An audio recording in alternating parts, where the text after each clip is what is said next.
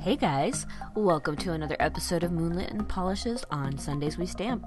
Today we're doing wildflowers inspired by the theme of this month's Boxycharm, which I will be showing you later on in the week. I'm starting off with two coats of Green Thumb by Sally Hansen. This color on the first coat does not look that great. It looks sheer and streaky, but after the second coat, it looks completely opaque and the weird thing is, is, I don't like green. I don't like green. I've never liked it. And suddenly, out of nowhere, I kind of think I'm starting to like green. I don't know what happened. I'm changing. I'm a different person. But like I said, two coats and then you are completely opaque. By the way, guys, my mom is recovered. She is back in her own house because she is a young, vibrant, strong, independent woman who does not want to have her kids slowing her down, so she's back home. Next, I'm taking Soulless by Bundle Monster. I'm going to be using this to pick up the floral pattern on the Chic Peek plate by, well, what used to be a Bundle Monster, but what is now Maniology. I had high hopes for this design. Um, unfortunately, I think that it is just a little too small and too cluttered for my poor eyesight to actually work with. Not to mention that the Soulless was a poor choice because once picked up on the stamper, you can't really see the design all that well, which makes it difficult to paint the flowers inside the design. I think if you're going to do that, you should use a darker color. These are the floral colors I chose to work with.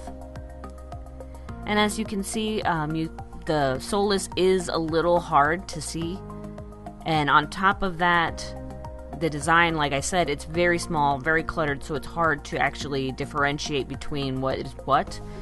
If I had one of those big old magnifying glass things, I probably could have done a better job, but for the most part, I just tried to color in the flowers and hoped for the best.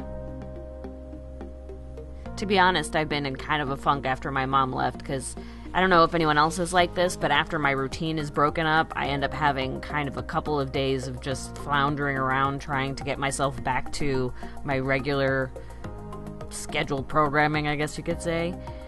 And so, like last week, I missed out on my Sundays We Stamp video, and so I was like, I'm going to put one out today, no matter what.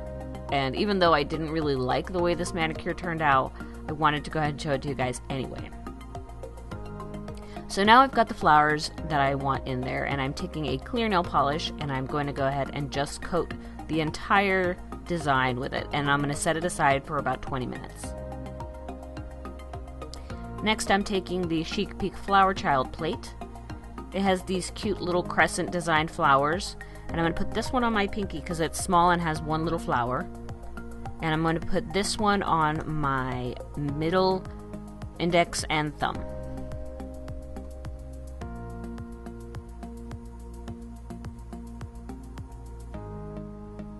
And I'm doing the same thing as I did with the larger stamp. I'm picking it up and I am painting in the flowers with my tiny detail brush. And also I am actually changing up the colors so that each finger has different colored flowers on them.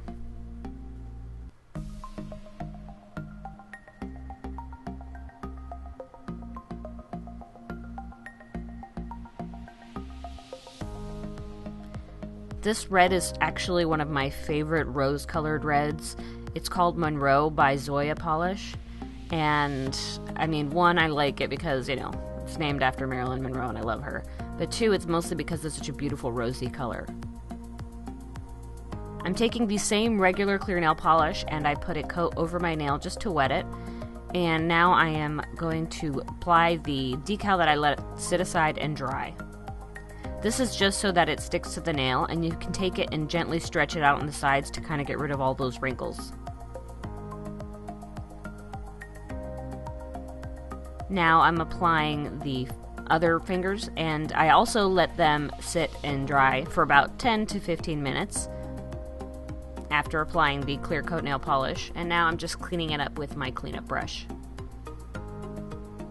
Once you have it all cleaned up, I am putting on my top coat which super love. Can't can't live without this top coat now. I don't know what I'm done. I'm gonna have to do something about it since it's one of just a jumble of other polishes. And here's the final result. It's floral, it's fun, but I wish I could have done it better. That's all I have for you guys today. I hope you enjoyed this video. Don't forget to like, comment, and subscribe. Bye.